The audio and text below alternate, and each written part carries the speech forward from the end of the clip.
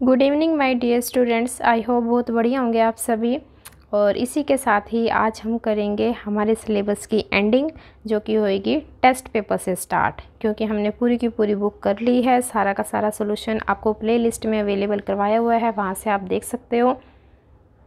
तो चलिए स्टार्ट करते हैं आज की लास्ट वीडियो जो है टेस्ट पेपर इसके अंदर ना आपको जितना भी सिलेबस करवाया गया है, सभी पार्ट से थोड़ा थोड़ा एक एक उठाया गया है टॉपिक और आपको क्वेश्चन के रूप में दिया हुआ है। मिक्सअप है मतलब कि जितने भी आपने लेसन किए हैं, अगर आपने अच्छे से किए हैं तो ये आपका हो जाएगा सही से। और ये दिया हुआ है आपको सिक्सटी मार्क्स का। ठीक है? तो फ़र्स्ट है राइट स्टेटमेंट और इम्पेरेटिव आपको ना टाइप लिखना है सेंटेंस का। सेंटेंस का टाइप एक तो हो जाएगा इम्पेरेटिव एक हो जाएगा स्टेटमेंट स्टेटमेंट में क्या होता है? आपको सिंपल सी कोई बात बता दिया जाता है या फैक्ट या ओपिनियन या फिर कोई आइडिया वो सिंपल ही होता है. लेकिन इम्पेरेटिव में क्या होता है? इम्पेरेटिव में आपको या तो प्लीज़ मिला दिखाई दे जाए, लिखा हुआ, या फिर स्टार्टिंग में लिखा हुआ हो लेट या लेट्स या आपको दिखाई दे कोई रिक्वेस्ट की गई है, कोई कमांड दी गई है, या फिर कोई सुजेशन दिया गया है, वो हो जाता है हमारा इम्पेरेटिव में. तो इसके अंदर दिया हुआ है, आपको करना है स्टेटमेंट राइट या फिर करना है इम्पेरेटिव राइट कर दोगे?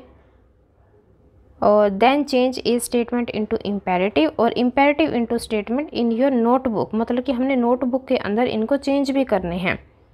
वाइस वर्षा जिसको बोल देते हैं।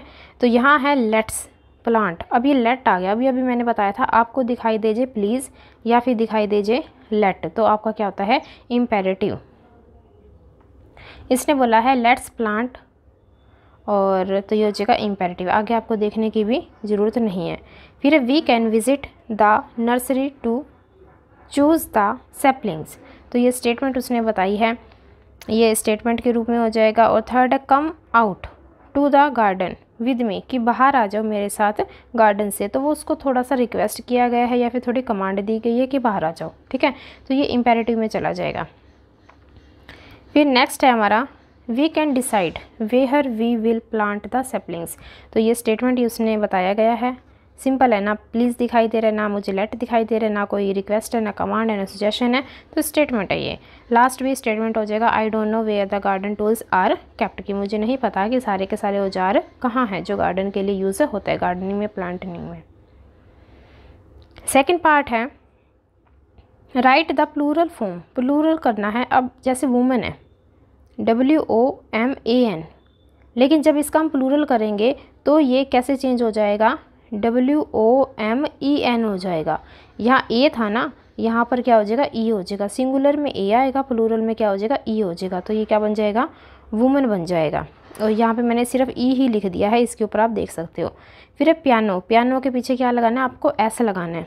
P I A N O S फिर है आपका फुट तो यहाँ पर हमने कर देना है feet F double E T फिर टमाटो उसके साथ क्या लग जाएगा? ई एस लग जाएगा। और डियर का रहेगा डियर डियर का सेम रहता है। सीरीज़ का भी सेम रहता है। देखो एस लगाओगे तो एस लगा पड़ा है। ई एस लगाओगे तो वो भी लगा पड़ा है। फिर है लंच लंच के साथ क्या लगा दोगे? ई एस फिर पर्सन के साथ ओनली एस फिर टैक्स के साथ क्या लगेगा? टैक्सीज और थीव्स के साथ आपको एफ़ हटा करके क्या लगा देना है? वी ई एस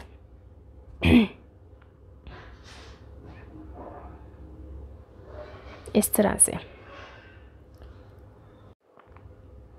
ये हो जाएगा हमारा थीव्स सी पार्ट करेंगे। इसमें दिया हुआ है tick the correct verb in the bracket bracket में से हमने टिक करना है। फ़र्स्ट है द कैट्स यहाँ पर ऐसे लगा हुआ है कैट्स है। तो उसके अकॉर्डिंग क्या आएगा? हैव क्योंकि सिंगुलर के साथ, एक के साथ आता है हमारा हैज़ और एक से ज़्यादा हो तो क्या बन जाता है? हैव। इसीलिए यहाँ पर कैट ज़्यादा है तो क्या बन जाएगा हमारा? हैव। फिर है अर्नव एंड नेहा। ये भी दो ही दिखाई दे रहे हैं तो क्या आ जाएगा? वर आ जाएगा। फिर है ए हर्ड ऑफ़ काउस, एक झुंड गायों का। तो एक बोला, उसने ए बोला है। ए का मतलब क्या होता है? एक होता है। पूरा का पूरा झुंड। चाहे उसके अंदर गायें कितनी सारी भी हों, लेकिन झुंड क्या है? वो एक है तो एक के लिए क्या हो जाएगा? हैज़ हो जाएगा। नेक्स्ट है।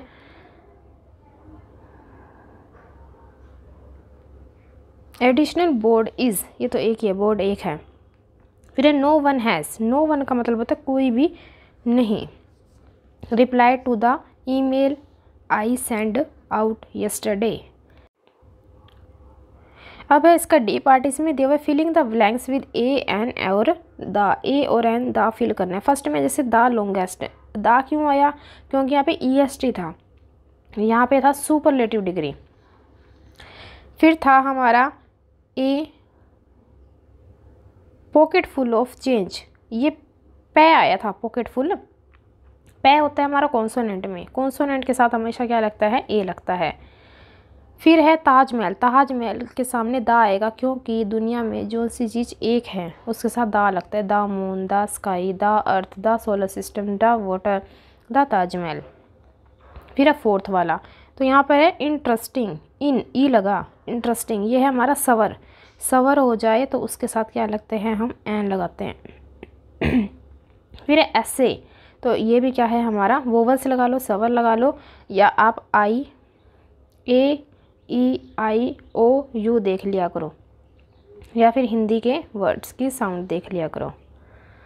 अब करेंगे ई e पार्ट और इसके अंदर दिया हुआ है filling the blanks with the correct form of adjective box में से आप, आपको सिलेक्ट करने हैं। फ़र्स्ट है, Vidhur is a better filter than एक तो ये देन दिया हुआ था। देन से मुझे पता लग गया कि ये कंपेरेटिव डिग्री है। और यहाँ पे ई e आर भी दिया हुआ था। इसीलिए यहाँ पे क्या हो जाएगा? बेटर फिर mummy is Tide after a long Tide after a long day in the office फिर है माई puppies most favourite toy is an old teddy bear of mine जो सा मेरे वाला पुराना टेडी बियर वो उसका फेवरेट है। Did not you find this test easier than यहाँ पे देन आया था ना, इसीलिए यहाँ पर ईजी ना करके ईजियर आ जाएगा ई आर आ जाएगा। फिर है Jane said that Kochi was the most beautiful city ये सारे के सारे क्या थे? आपके एडजेक्टिव थे, विशेषण थे। और अब है एफ़ पार्ट इसका। इसके अंदर दिया tick the correct adverb in the bracket bracket में से ही आपको करनी है। फ़र्स्ट जैसे I am not familiar with the park as we rarely go there familiar तभी होते हैं जब बार बार जाते हैं। ठीक है? रेयरली कभी कभार जाते हैं तो इतना ज़्यादा फेमिलियर नहीं होते। उससे जान पहचान हमारी नहीं होती। और ये इसका टाइप पूछेगा तो ये हो जाएगा एडवर्ब ऑफ़ मैनर सेकंड है, Mala is not feeling well वो अच्छा फील नहीं कर रही है so she has gone home इसीलिए वो घर चली गई है। थर्ड है वी वर प्लेइंग आउटसाइड हम बाहर खेल रहे हैं when the thunder and lightning began fourth में है दिस ईयर इसी साल let's go somewhere that none of us have ever been fifth में हो जाएगा I have scratched search everywhere सारी जगह मैंने खोज कर लिया but I can't find my book लेकिन मुझे मेरी बुक कहीं भी नहीं मिली। तो इसके साथ ही हम चलते हैं एंडिंग की तरफ़ और आप सब्सक्राइब ज़रूर कर देना। अगर आपको ये चैनल अच्छा लग रहा हो तो अब करते हैं हमारी प्रेपोजिशन प्रेपोजिशन में देखिए both my sister and I have our birthday in June अभी बड़े वाली यूनिट आ गई सबसे छोटी यूनिट होती है तो ऐट लगाते हैं, फिर लगा देते हैं हम ओन और फिर लगाते हैं हम इन। फिर the parcel on the table arrived this morning on कब होता है ओन का मतलब होता है पर। जब कोई टच कर रहा हो, उसके ऊपर पड़ी है ना वो पार्सल तो वो टच कर रहा है, उसको इसीलिए ओन आ जाएगा। Our train tonight will depart at midnight ये होता है फिक्स टाइम के लिए ऐड हो जाता है। फिक्स है भाई। बारह बजे चल पड़ेगी। फिर है there was a party in the house next door to our last फिर the salt is in the jar in मतलब का होता है मे। Inside that cupboard जो सा गत्ते के अंदर पड़ा है ना बॉक्स के अंदर, उस सॉरी सिक्स है you will find some paints on the slab on the table on कब आता है जब वो टच कर रही हो चीज़ पर रो let's meet at six P M today at आता है फिक्स टाइम के लिए. सिक्स है तो सिक्स बजे ही रहेगा, ऐसे नहीं कि सिक्स फाइव पे हो जाएगा। अब हम करते हैं एक्टिव और पैसिव स्टार्ट इसमें दिया हुआ है we ate our dinner in the garden today तो ये हो जाएगा एक्टिव और फिर मुझे पैसिव कैसे पता लगा? ये देखो, ये बाय लगा रखा तो ये पैसिव है। यहाँ पर भी बाय है। यहाँ पर भी बाय है। तो मुझे पता लग गया, ये पैसिव है। बाकी सारे क्या हैं? एक्टिव लास्ट है हमारा add quotation mark and commas देखिए यहाँ पर लिखा हुआ है, निधि सैड। यहाँ पे कोमा आएगा, फिर आपका इन्वर्टेड कोमा स्टार्ट हो जाएगा। नेक्स्ट में आई एम से स्टार्ट होकर यहाँ पे हंगरी तक चलेगा, कोमा भी आएगा इन्वर्टेड कोमा भी। फिर यहाँ पे गेट है, फिर यहाँ पे एक्सलामेटरी साइन आएगा, और यहाँ पे क्वेश्चन मार्क आएगा। क्वेश्चन मार्क क्यों आएगा? Have you been to Agra यहाँ पे क्वेश्चनिंग की गई है, और यहाँ पर क्या है? गेट रेडी क्विकली और you and we will be late तो यहाँ पे एक्सलामेटरी साइन आएगा क्योंकि यहाँ पे स्ट्रॉन्ग फीलिंग हो रही है। आप स्क्रीन शॉट लेना चाहो तो इसका ले सकते हो। कैसे लगाने हैं हमको ये सारे कोमाज अदरवाइज़ आपको समझ आएगी अगर क्योंकि चैप्टर में सारी एक्सप्लेनेशन करके दी हुई है आप वहाँ से देख सकते हो। सो so, बहुत अच्छा रहा। फिफ्थ क्लास का ये सारा सिलेबस